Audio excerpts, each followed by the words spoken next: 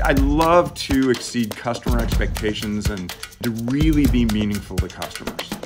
During the pandemic, doctors and healthcare providers, hospitals were just not seeing patient flow. And that had a direct impact on our business. The reps were already maxed out on their customer base, and that's when we recognized that the Customer 360 platform, it was our solution. Customer 360 brings together a variety of tools to drive this business in a very strategic way, both internally and externally. It gives everybody the most precious resource, which is time.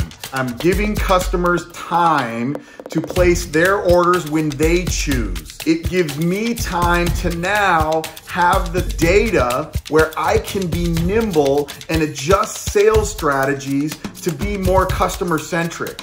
It has opened our eyes to looking at the business uh, in a different way and in a deeper way.